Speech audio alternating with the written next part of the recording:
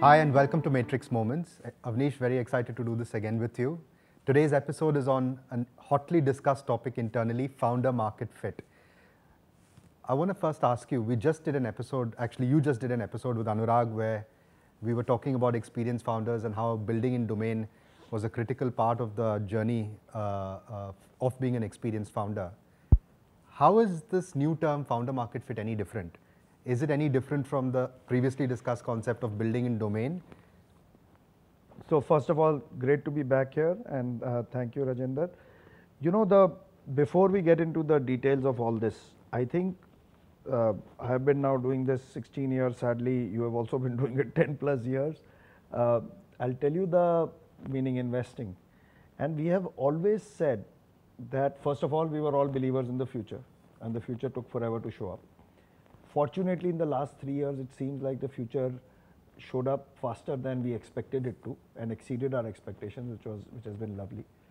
One of the consistent themes in this in this grind, I would call it, has been that the founder quality, we have discussed many times, has kept on improving from cycle to cycle, right?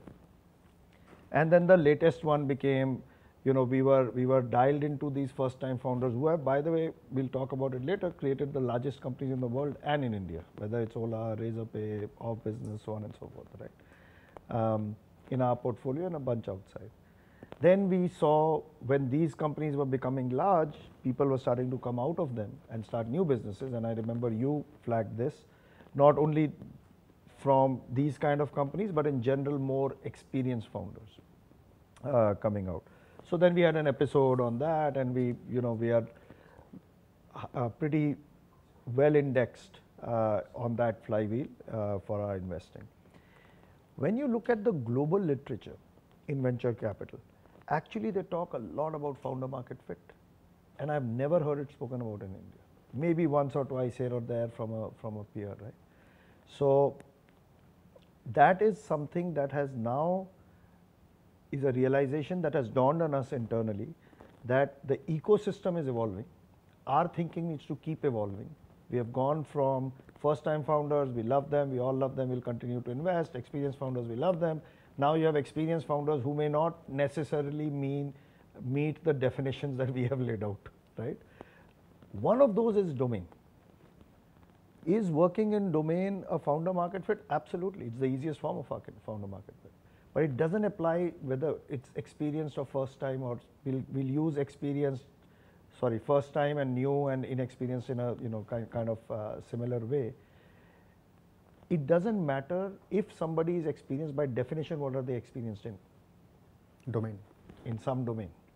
So if they come out and work in that domain i would i would think they have found a market fit. But we'll come to that. I think yeah. there's a nuance there but there can be people who are inexperienced and we'll discuss again some of the largest companies in the world where if you just apply domain because they don't have experience in a domain you would say do they have do they not have found a market but that's where the nuance starts building. So I actually believe it's an evolution in our thinking. It is an evolution to keep pace with what we are seeing in the market, uh, but it is something that's been around globally for a long period of time. So I agree with you. I think the uh, assertion that founders building outside of domain can also build very, very large companies is clearly true and there's multiple examples out there. But how should one think of it? Like if one is an experienced founder building in domain versus building out of domain. Yeah. Ultimately, you're talking about founder market fit. So how should one? Yeah. How should one think about? So I think for the rest of this discussion, let's let's separate experienced and, and inexperienced founders from founder market fit. This point applies irrespective. It applies to all entrepreneurs. Now, you know, I often think of myself, whether for better or for worse, more as a founder than as a VC. So if I were to go out again and start, and sometimes for me, the clarity of giving any advice comes from what would I do in that situation, right? And I would absolutely not take domain risk. I would work in the domain that I know well. Maybe marketplaces would lend itself, maybe on the margin fintech, but there I would be out of my uh, domain. Consumer would probably be in domain. Now, why? We have discussed before that startups is hard. We all know that most of them are destined to fail. Yep. If you're starting up again and you're not thoughtfully figuring out how to stack odds in your favor to win disproportionately, I think you're probably giving up an, an opportunity to do so. So domain to me is one of them. Why is domain relevant? When you're going through a startup journey, and we have discussed this in, in the Anurag, you know, uh, journey episode, there are a bunch of other experienced founder things you can build and all quickly, all of that. Let's keep that aside. Ultimately, you have to have the best thought around how do I get to the product market fit I am uh, looking for. If everything goes per plan, great. When things don't go per plan, why do they not go per plan? Because you have some unknown has shown up that you didn't know. Well, if you're in your domain, likely your unknown box is very small, right? So to me, that just becomes a very easy answer.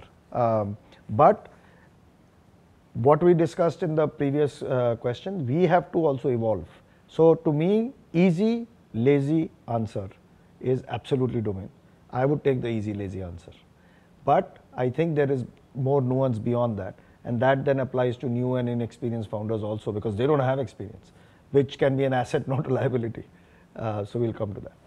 No, I think that's a good point because I was just reflecting, and you know, this isn't something I typed up earlier, but very often companies pivot and there are so many examples out there where a founder, when they generally pivot the business, will also pivot within the same domain. Like if you look at, say, M mKhoj to InMobi or Zomato from restaurant discovery to food delivery, yeah. you generally are pivoting within domain to an adjacency and finding product market fit you generally stack odds in your favor if you're building yeah. in the same domain. And which will come to part of what we'll cover next time uh, in one of these questions, but I think it's important to call it out here. If you are outside in, which by the way will become one criteria for founder market fit, and you are customer obsessed, which will become the second criteria for product market fit. I mean, what does Deepinder signify? I mean, he is one of those guys, right? So if you are that, then from those customers, you may discover some other pain point of that customer, which you are able to solve better, right? So I think it does become. So um, let me ask the question another way then, which is it sounds like the answer for you is very clear that you'd always build in domain. Why should that not be the default answer for every founder out there? Yeah. No, so so I think before we get there, we should make sure, uh, Saloni, we include this chart or maybe we can flash this. But the net net is this is a chart of company success uh, percentage with a big exit, depending on the founder's background. How, how much, how many companies have they started? And I'll just give two numbers or maybe three. Previous companies founded, founded zero, big exit, percentage with exit 5%, percentage with big exit 0.5%. Let's take previous companies founded three, percentage with exit double, which is about 10 and a half, percentage with big exit 5x, about two and a half. Interestingly, percent, if more than four companies were uh, founded, the big exit goes back down and I'll give a nuance around this. So first of all, odds are going up, which is what we said.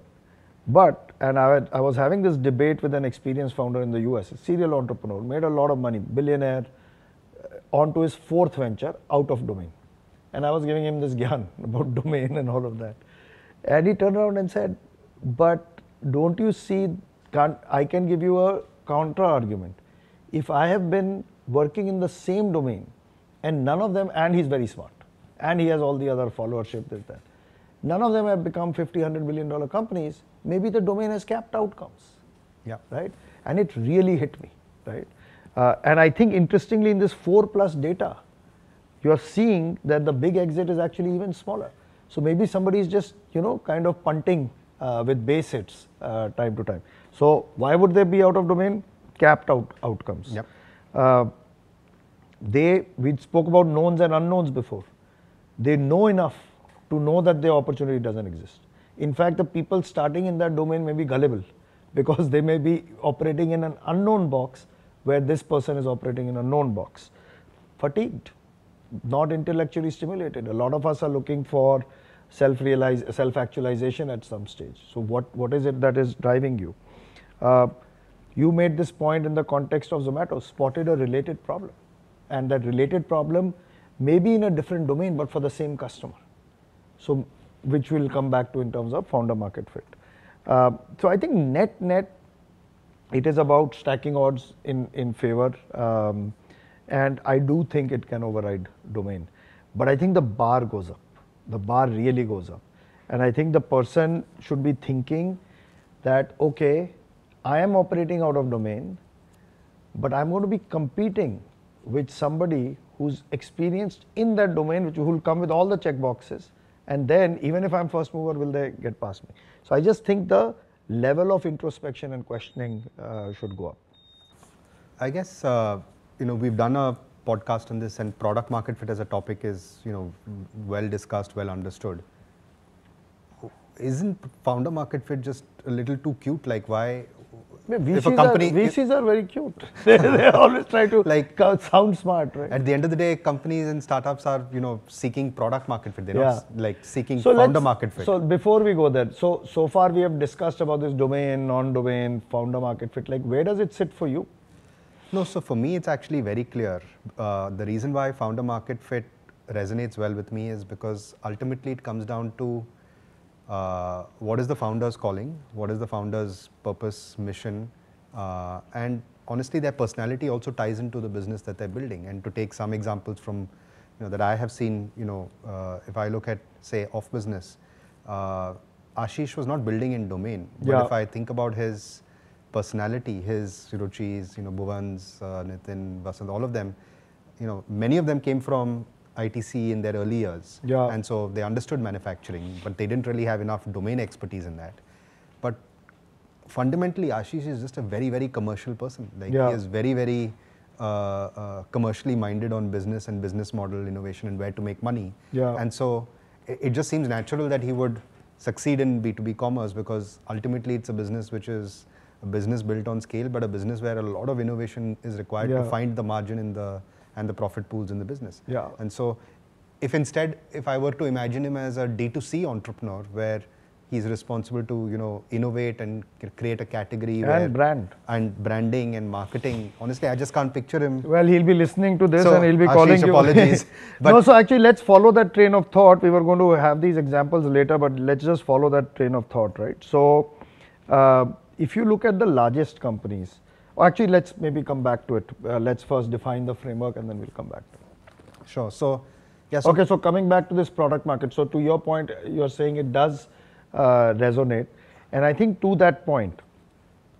coming back to the question, is FMF too cute, or is it, uh, and how is it different from product market fit? Ashish didn't start in the business he's doing now. He actually tried to start in domain. Correct. He was going to do procurement for healthcare, and healthcare is his domain. And uh, very quickly he iterated because he was extremely outside it, right? So, my simple question is what happens if there's no PMF? Who's still there? the founder. Founder That's is still simple, there. yeah. So, I think products come and go, founders uh, remain. Vision, vision of the first product also comes from the founder.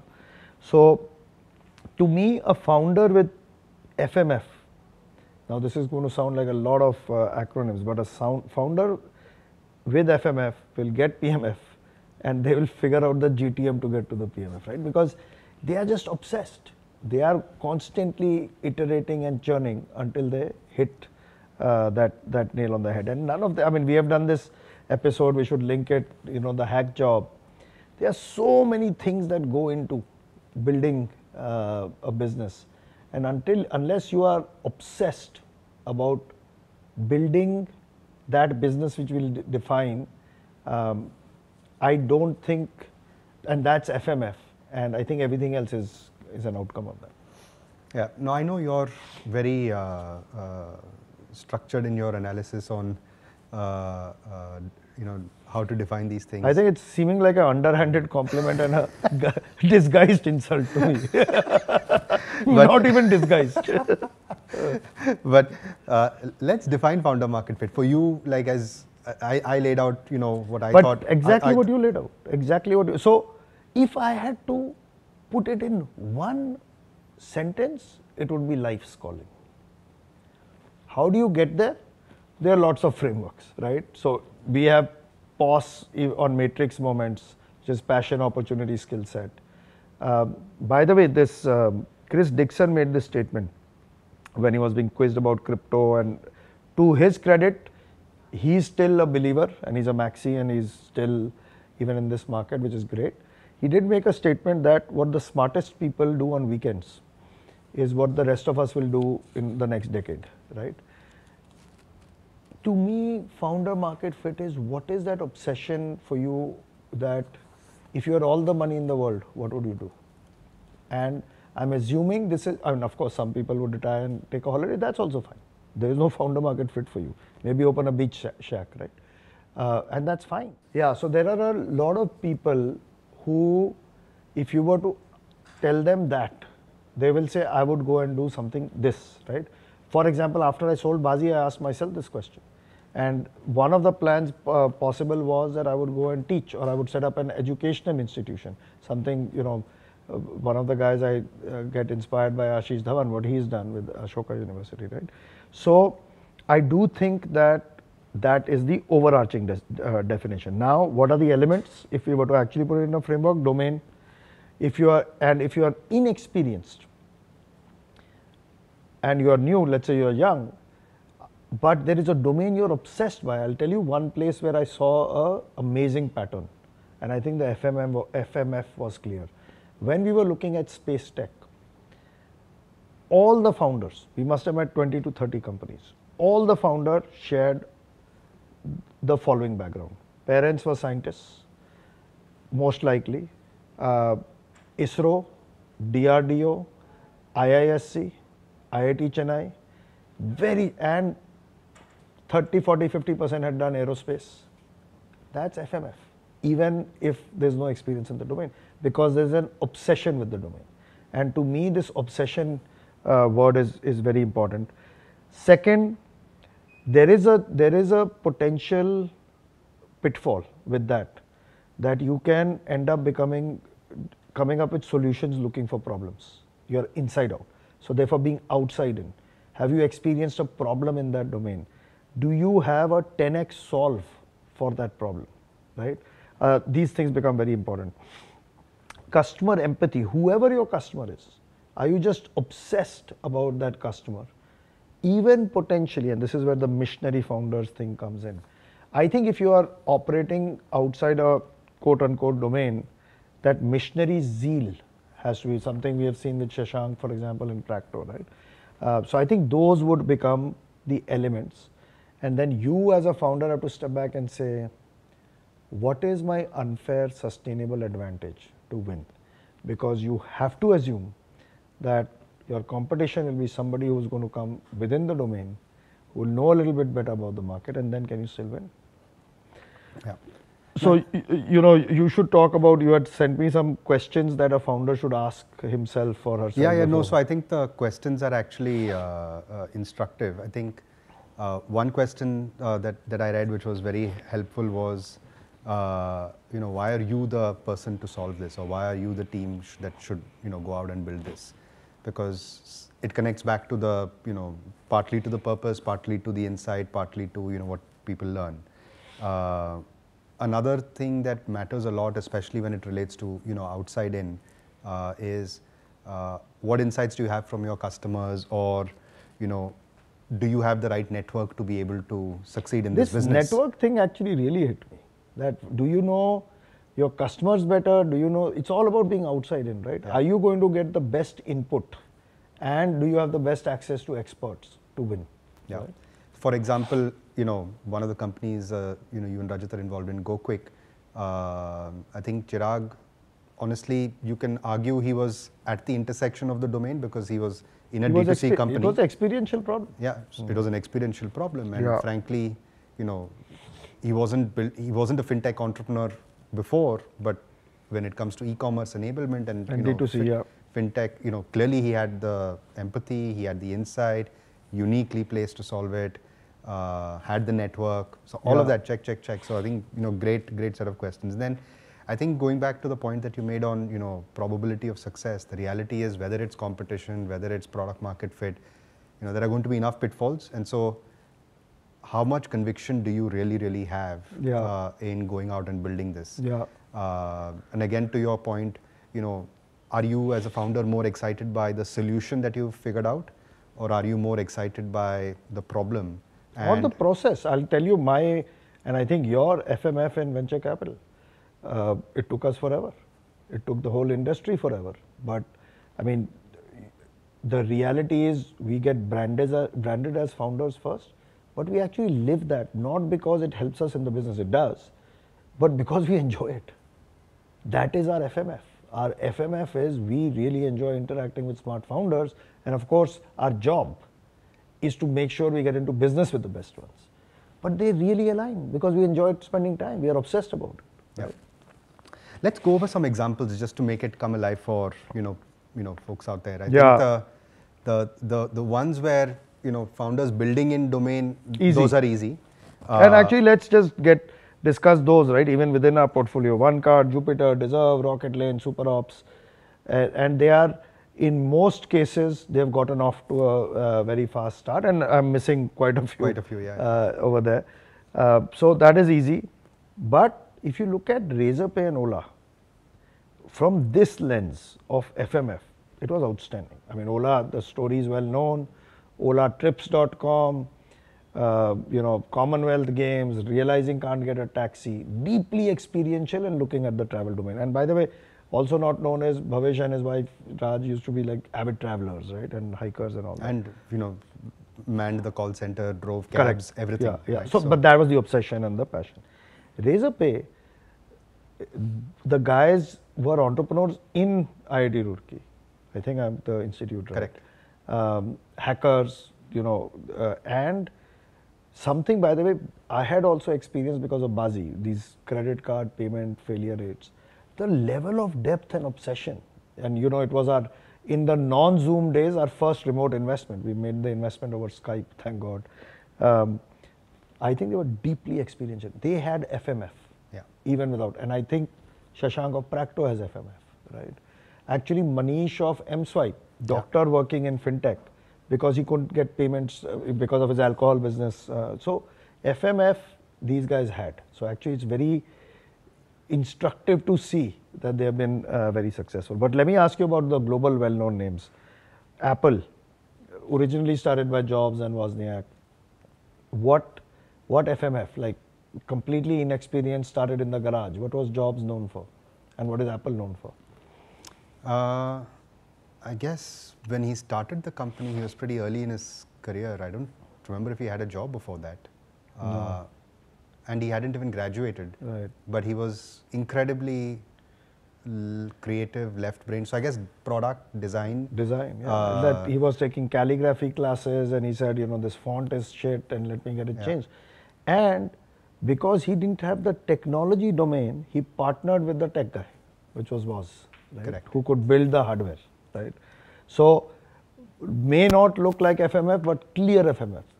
Jobs is imprinted everywhere over, over Apple, right? Amazon, I mean, bookstore Uh, on the internet, no FMF. Goldman Sachs banker or D. Shaw banker. D. Shaw, um, I guess like incredibly competitive, analytical. Uh, I guess we are. What is Amazon known for? Just ruthless on like Execution, co- execution, enough. Uh, cost. But that uh, one wouldn't have known at that time. What are, I mean, customer obsession. customer obsession. Yeah, of course. Uh, So it came from him. It, this is the thinnest of the FMF one would see, but it is one of the things we spoke about. Are you obsessed about those customers? This guy used to sit, he empowered the front uh, call center people to just return money and stuff like that. So I think customer obsession, but would be the least on the on the FMF. He was a banker. I took inspiration and therefore came and started. Uh, you know, an outcome was much lower. Microsoft, Google, easy FMF. Um, Google in particular, there were PhD PhDs. researchers on on better search technologies. Yeah. Right? So, so I think I think that this gives me a better, frankly, uh, uh, my, uh, tunes my own mind better on how to think about some of these founders. Yeah. No, and uh, I guess for founders, um, you know, who are thinking of building uh, and figuring out which idea to go after, uh, at some level you can always delude yourself into believing that you know the idea that you're kind of zeroed in on, you have found a market fit for Yeah. because at a point in time you're obsessed by it and you know so on and so forth. You know some of Yeah. these things we've discussed, you can clearly delude yourself into believing it. So how should one pick? Like let's say if someone is like thinking through a couple of ideas, like what should they, what should they really zero in on? So I would say again, let's separate uh, new founders and experienced founders. New founders, we have discussed the whole framework, um, but they should really, really think deeper about. When I started, I didn't really have FMF. Um, I was actually chasing money. Uh, today, I think if I were to start in a deeper market with that outcome, I would probably lose because somebody would be there with a better FMF, right? So I think the it should not. Often I hear from the younger guys, this is what I'm going to do, and then this is what I really want to do, which is later. Don't be in that situation. Do what you want to do later now.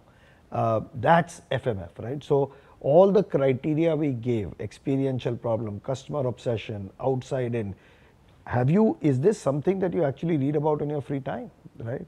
Is this really your obsession? So I think, and remember that somebody from domain is going to come and attack you. Are you building moats against that, that, that attack? Because it's going to come, for sure. Now, if you are experienced, my bias is already out there, domain. If you're working out of domain, I would say at least make sure all the other stacking odds in the favor that should be happening because you've been there for 10, 15, 20 years, you're doing. Do, are you starting with a strong co-founding team uh, or and maybe even a core team? That's the whole point of followership. We have done this org 3.0 uh, where we say that you know it takes three versions of an organization to make this work. Well, experienced founders should be able to short circuit that. Org if you can get org 3.0 and org 1.0, you are going to have a huge advantage. And this is my point about uh, experienced founders. Don't take market risk. Don't take market risk. Uh, don't take business model risk. Uh, leave that for the for the you know world changes because unless you are still of that risk appetite, I just think stacking more odds uh, in one's favor. And last one would be very very sharp GTM. Think of the go-to market because if you're not taking market risk, GTM is more important than PMF, right? So that's how I would think about it. Thanks, Avi. Really enjoyed this, and I think uh, uh, enough for us to kind of muddle. For us, and hopefully, hopefully, it. The the beauty is we are seeing a bunch of really talented. Again, I just want to reiterate. 2006, 7, 10, 11, 14, 15, 17, 18, and now 22. Each time, it's a step jump in the quality of the entrepreneurs, and that's the most uh, exciting part. So hopefully, as some of them are thinking through what they want to do, this is helpful.